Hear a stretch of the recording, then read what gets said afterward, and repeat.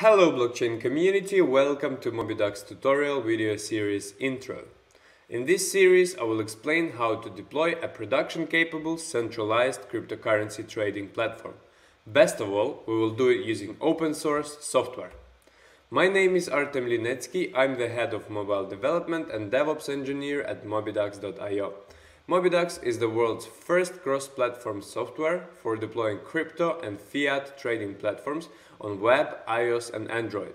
We have been building exchange platforms for over four years using Peatio backend. Peatio is the most advanced open source software for this financial service category and powers many of today's enterprise-grade exchanges found in CoinMarketCap Top 100. This is what we will cover in this tutorial. Uh, how to provision a VM, Docker Swarm and create Cloud SQL instance. How to deploy mainnet, Ethereum and Bitcoin nodes. How to customize the front end, add your logo and colors. How to launch a market maker bot to liven up your charts and add some market depth using existing strategies. And explain the difference between staging, testnet and production mainnet environments the role and importance each plays when operating, customizing and maintaining a cryptocurrency trading platform.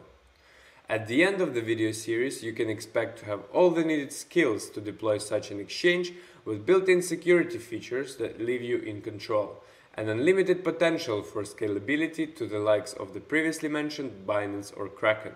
This video series was co-sponsored and made possible thanks to BitSight who were kind enough to let us record the deployment process on their private beta and testing environments. We hope you enjoyed the content, it was produced with love for blockchain and open source communities. Hit like and subscribe to our channel so that you don't miss any upcoming videos. Good luck and see you soon!